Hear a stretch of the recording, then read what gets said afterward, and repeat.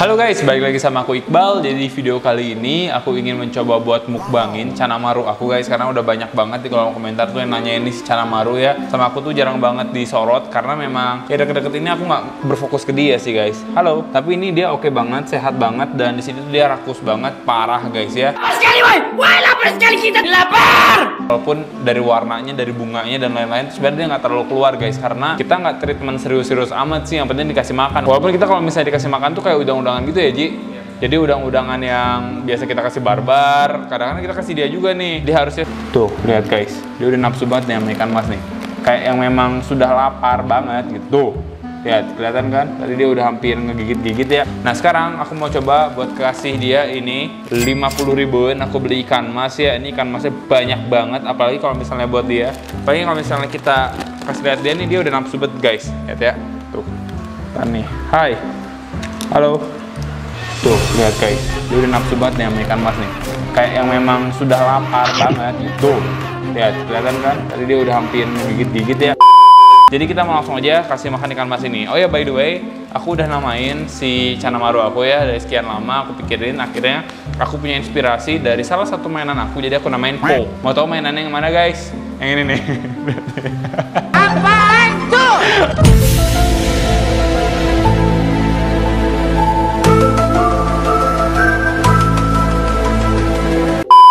Ngeri banget coba ya kayak boneka santet. Ini tuh ini mainan aku kecil kan Po. Ini kan salah satu yang kita lihat habis ya. Kayak Tinky Winky, Dipsy, Lala, Po kan. Tinky Winky. Ya.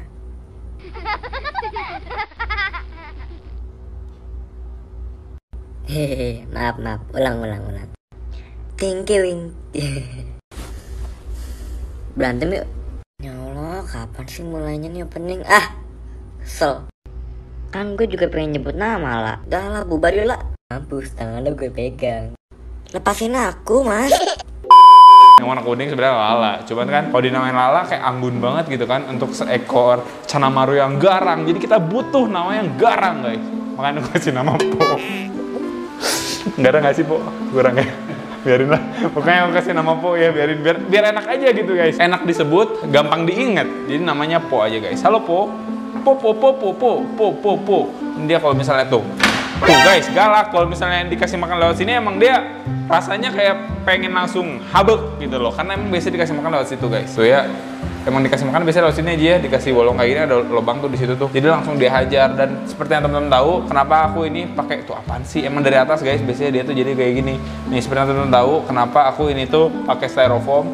Ya karena tadi dia itu bisa lompat dan kalau misalnya lompat kayak tadi kepalanya itu bisa geger otak gitu guys. Makanya bisa menyebabkan dia ya kalau nggak sakit ya bisa sampai kematian lah ya. Kan kita nggak mau tuh. Makanya nih kita pakai beginian guys. Ini aja dia udah sangar banget ya. Kita mau coba tes aja. Ini kayaknya ada beberapa juga ikan yang mati kayak gitu-gitu. Jadi sama kita nggak akan langsung dimasukin semuanya. Kayaknya ini kita masukin dulu ke satu wadah. Nanti dikit-dikit kita masukin guys. Yang pasti ini semua nanti bakal aku masukin ke sini ya. Kalau misalnya dia kekenyangan masih ada sisa tenang aja guys. Masih ada ikan piranha di sana. Masih ada ikan predator aku juga di sini.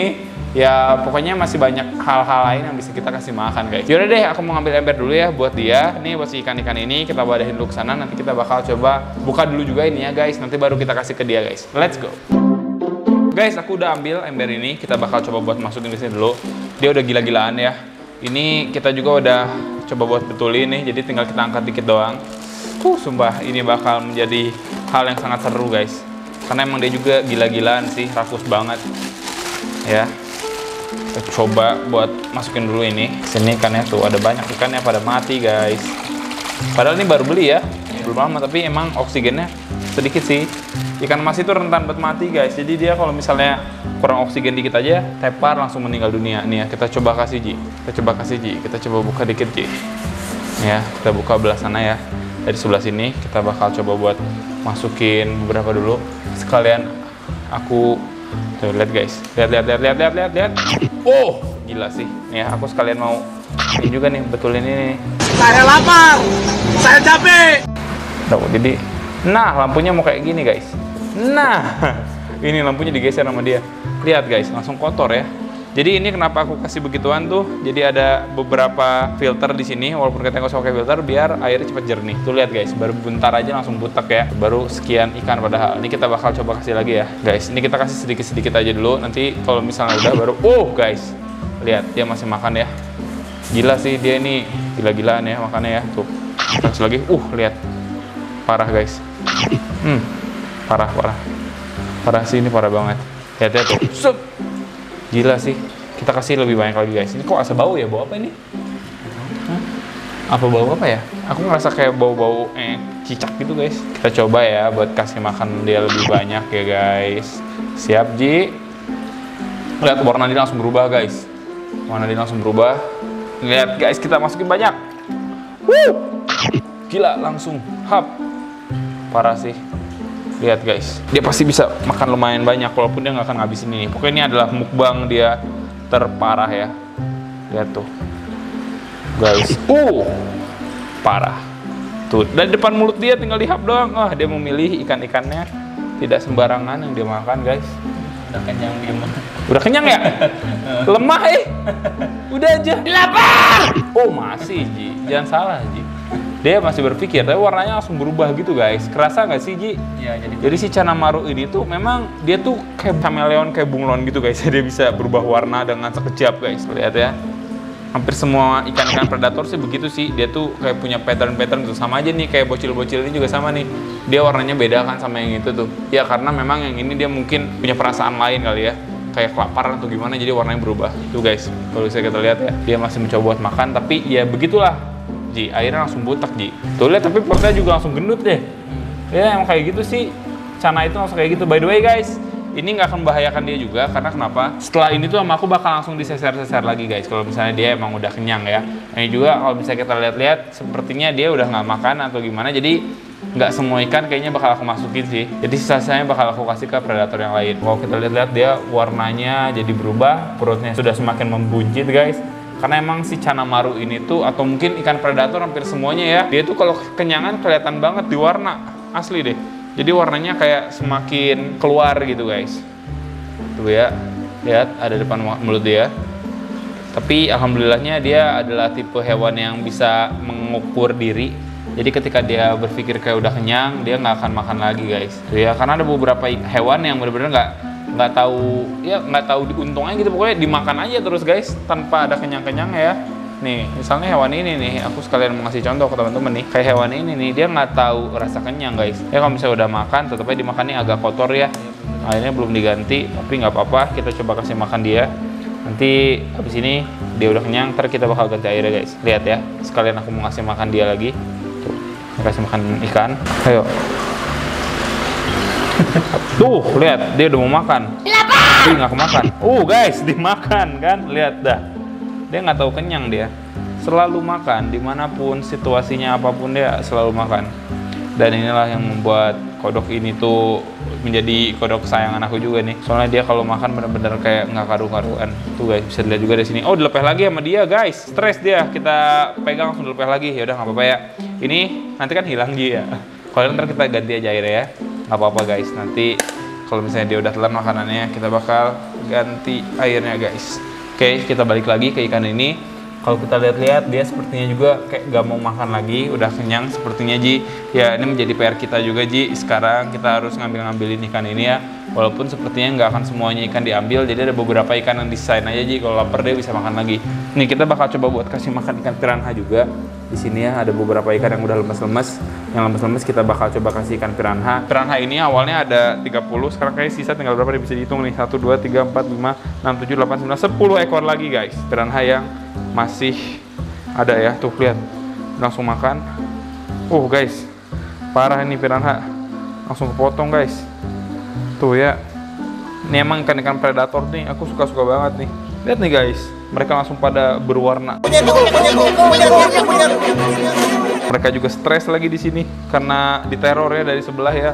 Ini jujur aja ini adalah hewan yang benar-benar lemah, lemah mental. Tuh langsung butek airnya guys. Tahu kenapa? Gara-gara mereka. Gara-gara mereka nih kayak mau makan jadi seperti itu. Nih udah kita kasih mereka aja, Ji. Ini mereka kayak udah lapar banget kayaknya.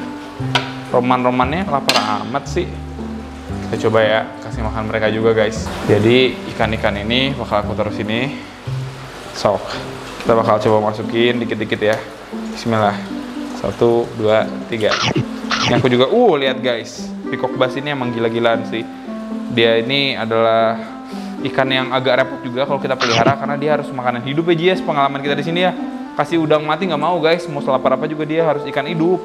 Tuh. Us, lihat. Sama nih ikan arwananya juga gila-gila nih, keren banget guys, sumpah dah. Ikan cananya juga di sini sama nih, lihat nih, nih makan nih, makan nih. Lihat ya, lihat ya, lihat hap, hap, wis, mantap. Ini emang keren sih guys, keren parah sih ini. Ya kita langsung kasih lagi aja lempar-lempar kayak gini, tuh. Ini mereka bakal makan bener-bener kayak sepuasnya mereka. Dan ini kalau misalnya kita masukin berapapun juga habis aja aja ya? Iya, habis. Aja mau 50 ribu kek mau 25 ribu berapa kek? Ya besok kan udah nggak ada guys dimakan. Tapi perutnya langsung pada gendut-gendut banget. Ih, lihat piranha Ji udah nggak karu-karuan Ji. Kacau ini piranha nih. Emang kayaknya piranha tuh harus ditutup sampingnya sih supaya dia nggak kayak gini sih. Ini dia stres juga.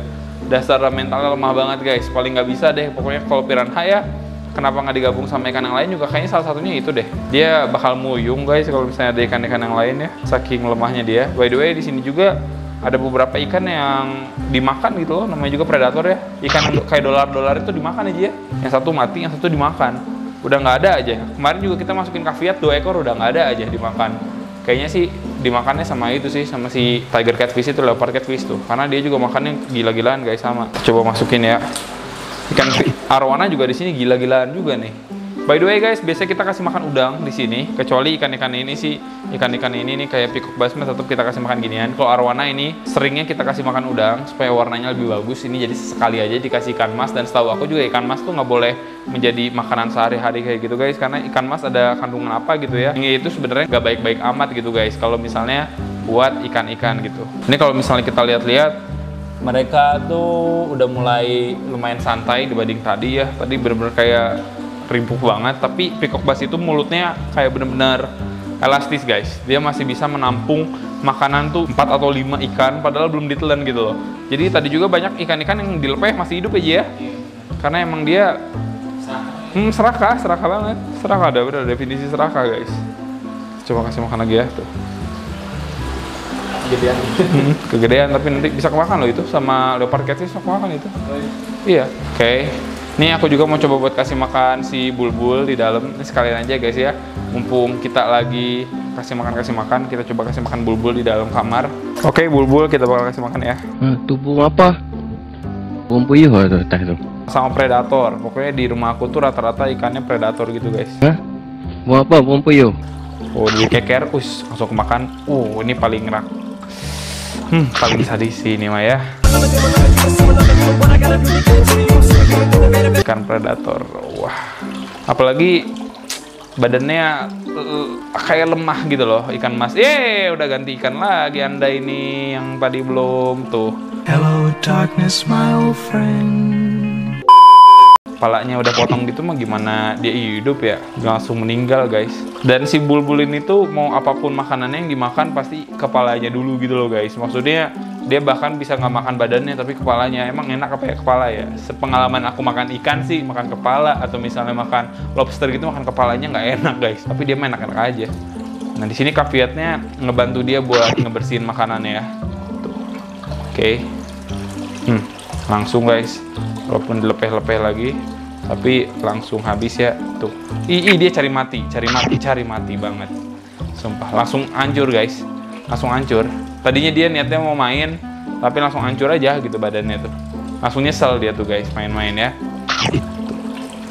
Bener langsung ini. Oke, nggak langsung dihabisin si kaviatnya masih bersih bersihin makanan makanannya. Pokoknya ini udah sahabat sejati aja guys sama kaviatnya nggak tahu kenapa ya.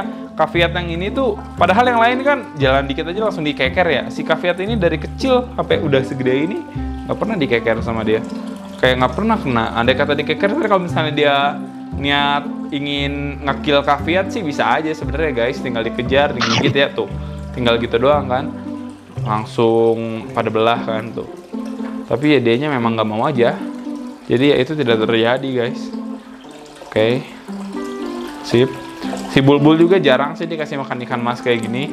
Dia tuh lebih seringnya dikasih makannya kayak udang-udangan juga. Pokoknya ini rata-rata ikan predator aku tuh dikasih makannya udang kayak udang kupas kayak gitu-gitu. Supaya lebih sehat juga guys. Maksudnya lebih enak juga buat dia. Dan katanya sih ya udang itu lebih baik gitu guys. Dan nutrisinya ya kalau misalnya buat hewan-hewan kita. Tuh oke. Masih ada sisa tuh masih ada satu lagi tuh. Nanti juga dia bakal makan sih sama yang di atas ini guys. Nanti juga dia bakal makan sih. Emang si bulbul ini tuh akuariumnya harus benar-benar cepat sirkulasinya dan harus benar-benar bagus gitu guys sirkulasinya ya. Karena emang benar-benar dia tuh pabalatak ininya juga pasir-pasir suka pada naik. Makanya kalau teman-teman lihat di sana tuh kita kasih sirkulasinya di sono ya agak jauhan dikit. Supaya kalau si bulbul ngamuk nih nggak masuk pasir ke sana udah berapa kali ganti ini? Rusak mulu gara-gara masuk pasir guys.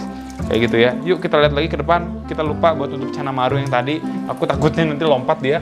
Tapi sepertinya enggak sih guys. Dia nggak ada keinginan lompat ya karena memang seperti itulah dia. Tuh udah gendut banget. Wow gitu loh guys. Udah ini juga kita tutup aja. Sip. Untuk ikan sisanya sih ya seperti yang teman-teman tahu ya di sini kan aku ada kolam. Jadi bakal kita langsung aja buat cemplungin kolam Ji. Yuk kita masukin kolam aja yang ini Ji. Sama yang sisa-sisanya nantilah pokoknya masih ada sisa di si Cana Maru. Ntar kita ambil tapi nggak akan aku videoin juga. Ntar kita masukin kolam ya. Di kolam ada beberapa kura-kura dan ada beberapa ikan predator juga yang pastinya siap buat menunggu mereka guys. Kita coba lempar dari sini dulu ya. Kita lempar dari sini juga kelihatannya ada yang langsung nyamber sih Ji. Tuh ya. Nih Ji, kita coba lempar Ji sana aja. Bismillah ya guys, kita lempar. Lihat ya, langsung ada yang nyamber nggak nih? Tuh, kura-kura tuh. Oh lihat guys, tuh kan cana maru, kelihatan nggak Ji? kelihatan ya, cana maru tuh, langsung nyamber. Ini ikan-ikan kayak gini juga nggak akan lama dia di sini. Pasti juk-juk habis aja, seminggu kurang ya udah habis guys. Kecuali dia nggak agak gede ya, bisa survive ya. Lihat, layar panjang dapet Ji. Kelihatan Ji, layar panjang Ji dapet Ji. Tuh, tuh itu, tuh layar panjang udah dapet guys kura-kura layar panjang emang jago berburu sih jadi kemungkinan dia lebih gampang dapatnya. Kita coba lempar lagi aja guys ya. Tuh ikan aligator juga dapat Ji. Tuh. Ikan aligator juga dapat. Si Big Mama tuh lagi coba buat nangkap juga walaupun dia agak susah tapi dapat juga tuh dia. Big Mama juga dapat. Susah Ji lihatnya ya. Lihat tuh tuh tuh tuh tuh tuh tuh. Si ini aja tuh layar panjang tuh. Dia lagi ngejar-ngejar di bawah. Kalau misalnya teman-teman lihat ya guys ya tuh si layar panjang itu dia udah dapat lagi. Dia udah dapat lagi Ji emang dia agak jauh sih di sebelah sana sih. Ya kemampuan kamera emang kayak gitu sih guys. Sekarang suka ngeblur kayak gitu ya. Ini kita coba buat masukin lagi semuanya ya. Apalagi malam-malam kayak gini pasti agak ngeblur gitu. Si kamera tuh agak bingung dia fokusnya ke mana. Nih guys. Aku udah masukin semuanya ya.